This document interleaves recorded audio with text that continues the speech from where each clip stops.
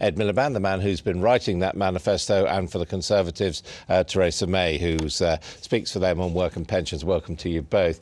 Before we get into manifestos, just like your take on uh, week one, as it were, we've all seen the opinion polls. Where do you think we are in the race? Well, we've had an argument about numbers and efficiency savings and all these issues. I think it's actually come down to an argument about values, though.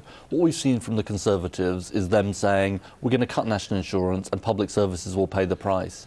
And I actually think that that may have looked tactically like a, an advantage for them, but I think strategically they've made a big mistake because I think this election is going to come down to the Conservatives saying we're not going to protect school spending, for example, and we're going to make this national insurance okay. cut. Where do you think we are uh, after the well, first week of campaigning? I, I, think where we are after the first week is that the choice is even clearer to, for people, which is that choice between five more years of Gordon Brown, more of the same with debt, waste and taxes, or the change that the country needs under David Cameron and the Conservatives. I think what people are seeing from us is that we're the party that's actually got the energy and the ideas and the values to uh, take the country forward. And in terms of uh, the competition, uh, you are still in the lead, but you're not looking strong enough to form an overall government that right? Well, the polls are going up and down, as you know at the moment, uh, Adam. There are some that have had us 10 points, 10, 11 points ahead, some that have had us uh, few, uh, fewer points ahead. We actually have never been complacent about the election, and we've always said that. What we're doing is going out there and take that, taking that message across. And of course, this week, crucially, the message that a Conservative government would avoid Labour's jobs tax that will kill recovery. And your message, presumably, is that you are the underdogs. Yeah, we are the underdogs in this election. We've been for some uh, time, but I think we're in the rearview mirror and we're catching up. And uh, I hope our manifesto will help us. Because you, uh, to, to, because to you do, you do seem to be already uh, putting out feelers to the Liberal Democrats as if you're expecting uh, a minority government. I mean, Lord Adonis is followed by the Prime Minister himself. I'm not sure it's about putting out feelers. Look, the, the central argument of our manifesto is that we've seen two seismic events uh, in 2007 2008. One around the economy, uh, and secondly around the political crisis caused by uh, expenses la last year.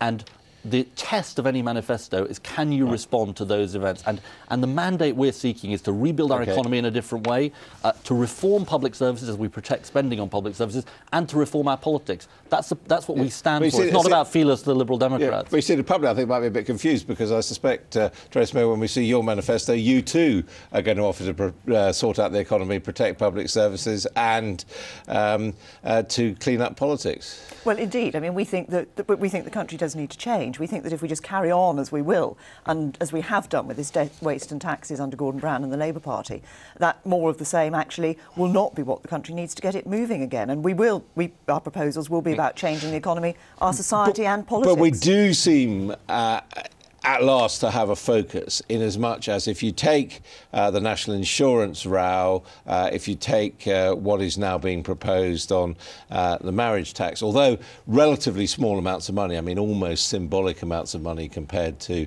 problems, the Conservatives seem to be back in the position of saying vote for us, lower taxes and smaller government, including uh, perhaps a bit of a squeeze on public services. Well, if any party that wins the election, whichever party wins the election, is going to have to bring forward cuts in public spending. That's clear. We've been clear all along that we need to get to start to get to grips with the deficit this year, which is why we're talking about the six billion of, of efficiency savings, which is things like yes, possibly freezing some posts so that when posts fall vacant in back offices, those posts aren't but filled. Theresa, I, but it's also yeah. about well, Ed, can, can, I, I just, can I just finish yeah, the the, sure. the, the, uh, the, point that I'm making?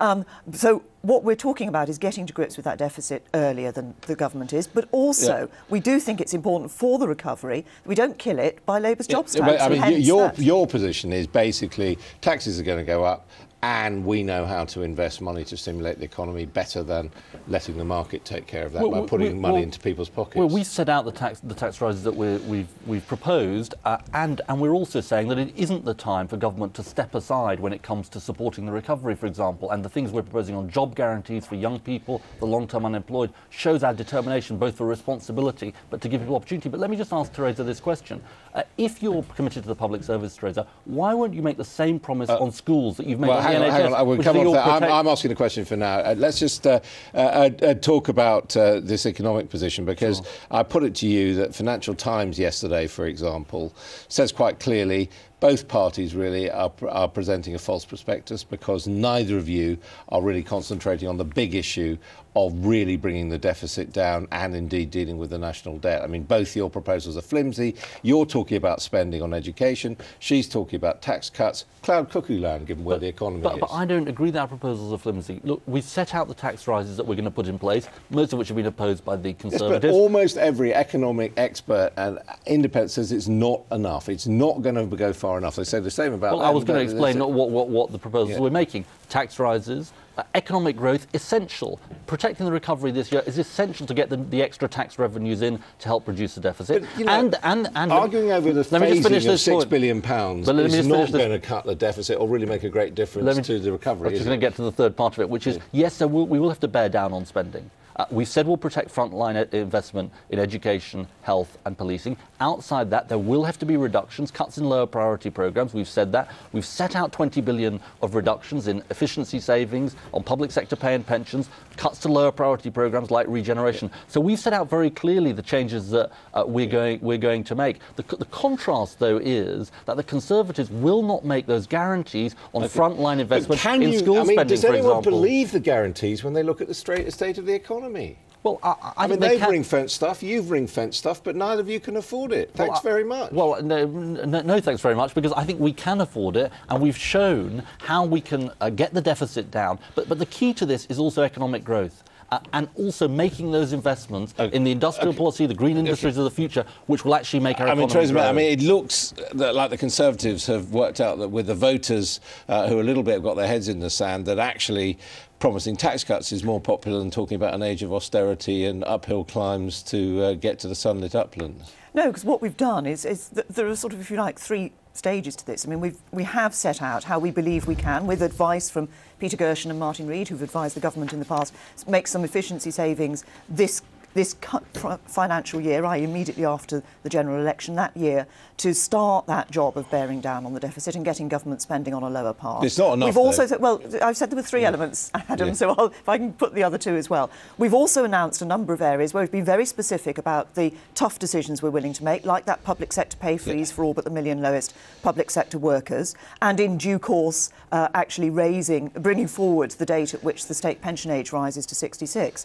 But also, of course, after an election, we would have a spending review, a spending review which the government had said Well, originally they would have spend- they're gonna had. Well, they would have well, had they it, should have had a it spending before review the year election. as well. So, they, uh, so what's the they difference? to have Let's talk about the some specifics. First of all, uh, we understand no major spending pledges in the manifesto tomorrow. Is that right? The, the way I put it is it's a bit more like a 1997, our 1997 manifesto than 2001 or 2005. Which was also we a know, Miliband production. Well, yeah, the other, the other one. Uh, there's, there's, there's less money around. We're, we're not going to go around spraying around promises that we can't afford, like the Conservative Party uh, is doing, including on uh, national insurance. Everything will be very tightly costed, and, and, and there won't be big spending commitments. And I think that's right, given the, the situation. But, but let me make this point: we can still see improvements in our public Yeah. services, and part of the argument of this manifesto is how do we drive further reform and improvement What in do you think the schools, most eye-catching thing in it is? Ah, well, you'll have to wait for Well, tomorrow. what about the But- People's Bank? Yeah, I think that the But, I mean, Bank is- linking up the post offices is important. I think one thing that is very important is that we are saying something we haven't. And you can dictate interest rates, can you? Because apparently you're going to cap interest rates. So this is intervention in the market worthy of the old clause four. well, I don't think it's quite clause four because we're not, we're not proposing nationalisation. I think it is Well, right if to you're going say. to dictate interest rates. I, I think it is right to say that we are no longer willing to tolerate a situation where low-income consumers are ripped off with payday loans and doorstep lending. Theresa what do you think their best proposal is?